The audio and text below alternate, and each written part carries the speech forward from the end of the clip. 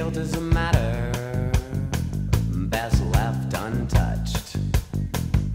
And what did matter seems to matter so much. See the way she stands.